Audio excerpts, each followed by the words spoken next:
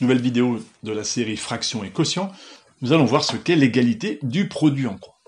Alors deux fractions sont égales si et seulement si leurs produits en croix sont égaux. Cela c'est exactement équivalent à dire que A fois D est égal à B fois C.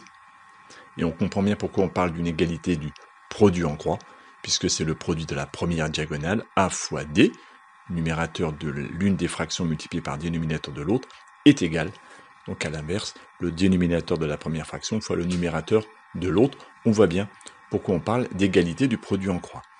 Et donc si deux fractions sont égales, alors on a forcément ce produit en croix qui est vrai. Et si on a le produit en croix qui est vrai, alors forcément les fractions sont égales.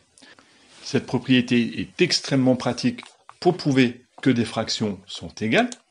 Admettons que l'on se demande, pour prendre un exemple, si la fraction 7 huitièmes et 35 quarantièmes sont égales, oui ou non On se le demande Eh bien, pour le savoir, nous allons tester l'égalité du produit en croix.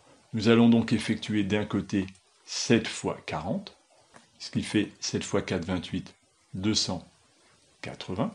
Nous allons effectuer d'un autre côté 8 multiplié par 35, la deuxième égalité du produit en croix, et 8 fois 35 fait aussi 280.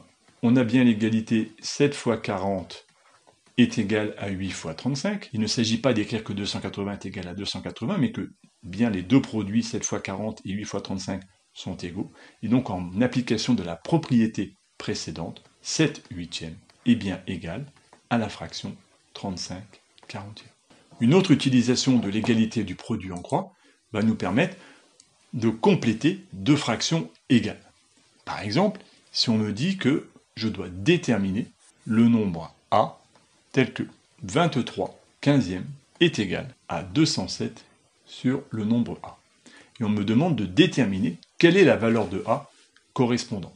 Eh bien, comme mes deux fractions sont égales, on sait que nécessairement le produit de la première diagonale, c'est-à-dire 23 multiplié par le nombre que je cherche, écrivons-le comme ceci, 23 multiplié par A, ce nombre-là est égal, obligatoirement, au produit de ma deuxième diagonale, 15 multiplié par 207. Alors 15 multiplié par 207, nous allons pouvoir effectuer le calcul, cela fait 3105. Je cherche maintenant un nombre qui multiplié par 23 me donne 3105, et eh bien c'est la définition de la fraction 3105 sur 23. Le nombre qui multiplié par 23 donne 3105 et 3105 23e. Et si on opère ce calcul, vous pouvez le faire à la machine à calculer, cela fait 135.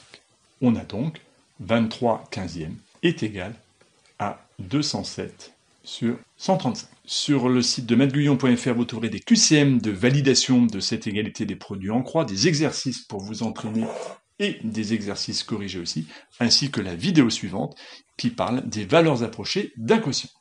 Bon courage.